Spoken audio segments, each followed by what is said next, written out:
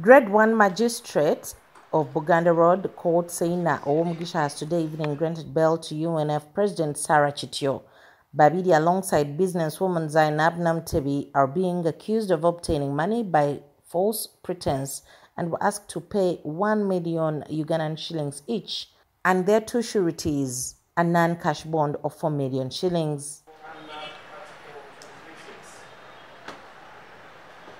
Babirye's sureties were her fiancé Daniel Ntale Chiseka and her sister-in-law Dorothy Rwanga, a teacher of Kitebi Primary School.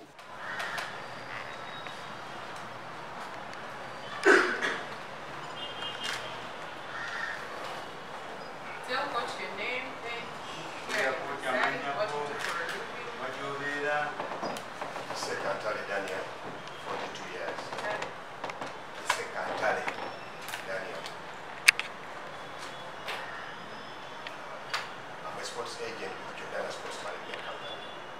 During the hearing, the state attorney didn't object to bail but requested during the hearing the state attorney didn't object to bail her but requested for stringent terms to be imposed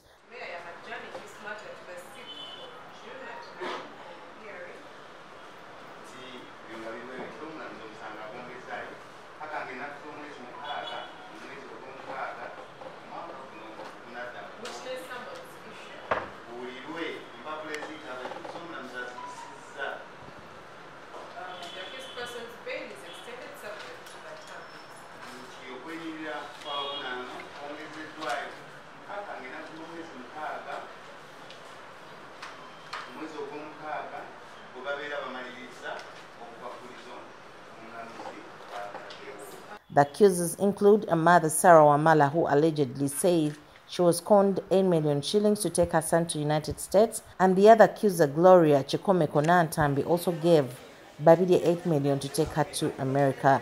The accusers have been dissatisfied, calling on the Prime Minister of Uganda, Robinah Nabbanja, to intervene. Ffe kye twagala oyo omukyala wa shikurainis foli hajati yamutuma butumya ogenda okubba. Babiri ye mubbi ensi gwemanyi nti mubbi.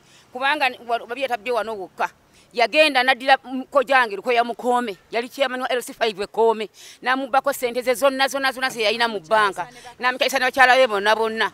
Bwe yatakomaawo era nagenda neyesimbawo nabba nagenda nabba era abavubuka mbwa myaka abiri mu musanvu nga wataano nagenda abba sente era mu banka era neyesimbawo n'awangula olw'obubbi bwe Daniel Ntale has accused Federation's governing body NCS for witch hunting his wife. We are Ugandans, are we?